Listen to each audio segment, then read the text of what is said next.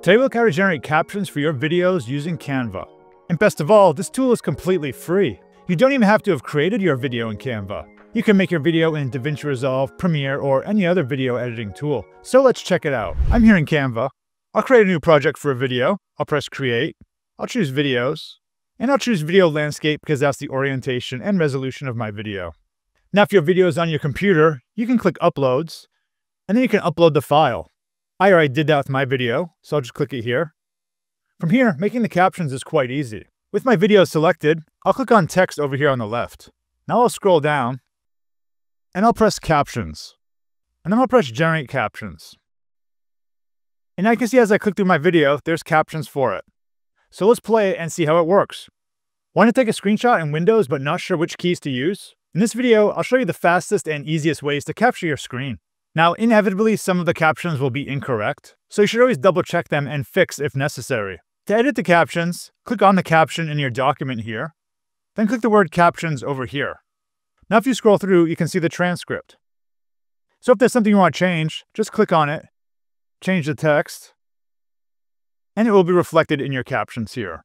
Now unfortunately, there's no way to control the timing of the captions, but if you want to fix the individual words, you can do it through this screen here. We can also customize the style and position of our captions. Now by default, all the captions will be in one group. So any change we make to one caption will affect all the captions. Let's look at how this works and then I'll show you how to customize the captions individually. To change the captions in bulk, just click on one of them. And then we have some options up here on how we want to change it. I'll change the font. Let's change it to League Spartan. Let's make the size bigger. I'll click these pluses. I'll make the color of the words yellow, so I'll click on this text color here. Let's choose this color wheel. I'll make it yellow. Now I also want to change the background color. To do that, I'll click Effects. And if I scroll down, Background is enabled here. It's the semi-transparent gray color by default, but I want to make it pure black. So I'll dial up the transparency. I can make it something else if I liked. Blue, purple. Let's actually make it a dark purple. I'll select this violet. And there's some other options here for the roundness of the background and how thick it is. And then when you're done, you can close this. And this is what my captions look like now. Now, if I click on a caption, I can also drag and reposition it. But unfortunately, this changes the position of all the captions. Let's look at how we can control the captions individually. Let me move this back to the original spot. Now with my captions selected, I'll click this word position here. And this pop-up comes up on the left. I'll press layers. And now I can see this group here.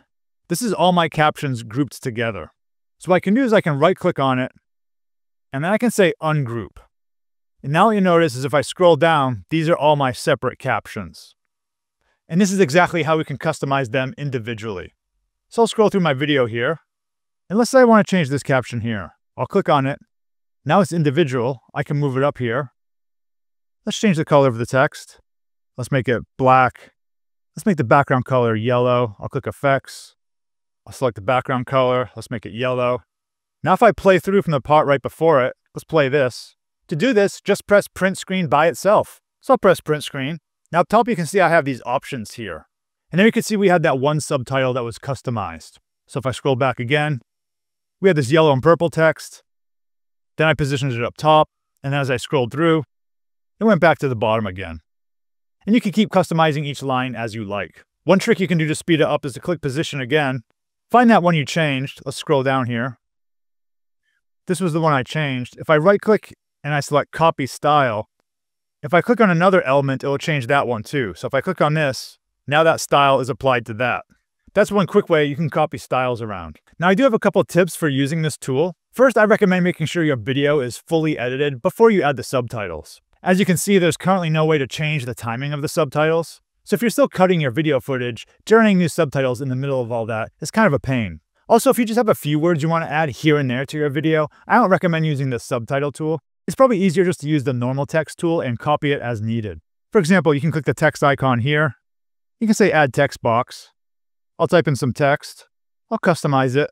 Just change the font, change the color, change the background. In the timeline here, I can easily adjust the duration. I'm holding control and zoom. I'll click this, drag it over. I'll put this where I want. I have my text here. Then if later I want to use it again, I'll just hold Alt, click and drag to copy. I'll move it later in the timeline. Maybe I want it here. and I can just put my new text here. So that's a way to flexibly add just a few subtitles. If you have any Canva topics you want to see covered in a video, let me know in the comments below. Thanks for watching, and see you in the next video.